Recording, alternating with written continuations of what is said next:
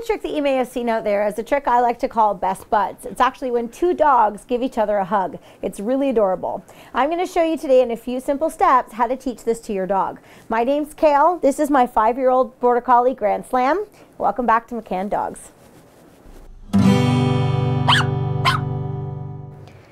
You should know before we get started that in order to teach your dog to do a best buds, your dog should already know how to do a wave on command. Wave, wave, Wave, good boy. If you haven't taught your dog to wave, then you can check out the link above for a trick tutorial on how to teach that to your dog.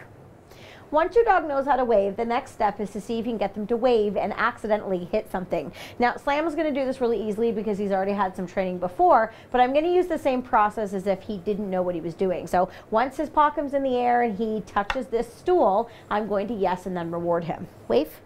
Yes, good boy. Wave. Yes, good boy. Wave. Yes, good boy. So he's very easily touching the stool with his paws. So now I'm going to change my command to the command that I want to use when he's doing uh, best buds. Best buds? Yes, good boy. Good best buds. Yes, good best buds. Now I'm rewarding him several times for keeping his paws up on the stool. Okay, good boy. Ready? Best buds? Yes, good. I'm also rewarding him in a way that it encourages him to remain in position. If I was to feed him like this, yes, and bring him down, it would discourage him from keeping his paws on the stool. Try one more time. Best buds? Yes, good man, buddy. Excellent, yes. Now, once your dog's comfortable putting their paws up on an object, the next task is to add a dog. Now for the final part of this trick, I've brought in Slam's best bud, Funky Monkey. Now she is a nine-year-old all-Canadian, and uh, she's gonna hopefully sit here patiently so that Slam can practice his best bud. So he's had lots of repetitions of touching the stool and getting a reward. So now I'm gonna see if he'll transfer it to the dog. Ready, Bean? Best buds. Yes, good, and I can reward. Best buds. Yes. You probably should reward the dog getting touched as well. Best buds. Yes. It's really funny that you're going right for her head.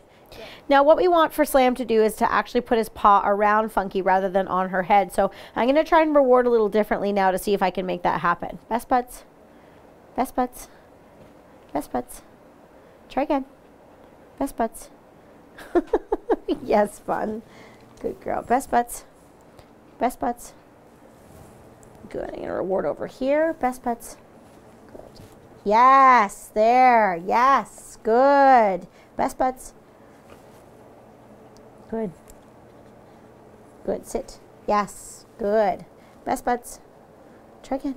Best buds. Yes. Good. Yes. There. Good. Best buds. Yes. Good. Now, this trick is adorable for photos. So my favorite thing to do is get to the point where I can get behind the camera. So that's where I'm standing right now so that I can get it on a verbal. So I'm going to ask him for best buds. Yes, good boy, wait. Yes, excellent, best buds. Yes, good boy. If you have any questions about how to train this trick, make sure you post those questions below in the comment section. We'd be happy to help you. If you like today's video, don't forget to give us a thumbs up.